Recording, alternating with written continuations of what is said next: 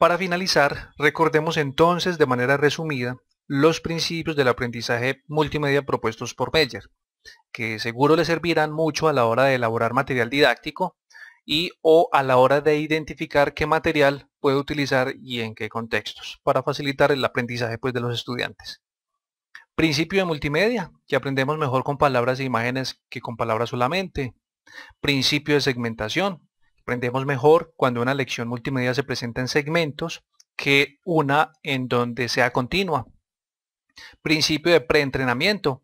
Aprendemos mejor cuando sabemos los nombres, las características y los conceptos esenciales de una lección. De una lección. Principio de modalidad. Aprendemos mejor de la animación y la narración que de la animación y el texto en pantalla. El principio de coherencia.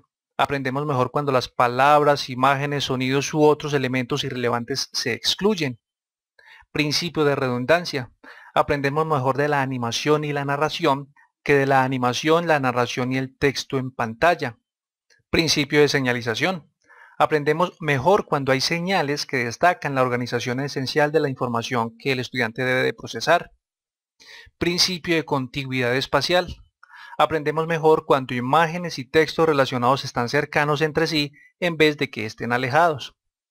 Principio de contigüidad temporal.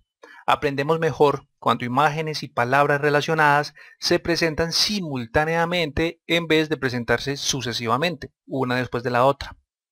Principio de personalización. Aprendemos mejor en las presentaciones multimedia cuando el lenguaje utilizado es coloquial en vez de un lenguaje formal. Principio de voz. Aprendemos mejor cuando se habla con una voz humana normal o cuando se explica con una voz humana normal en vez de una voz sintética o una voz con acentos extranjeros. Principio de imagen. Aprendemos mejor una lección multimedia cuando no se agrega la imagen del orador en pantalla, es decir, cuando quien explica no aparece en la pantalla en el video. Por último, el principio de diferencias individuales. Aprendemos mejor cuando los efectos del diseño son pertinentes para estudiantes de bajo conocimiento que para estudiantes de alto conocimiento.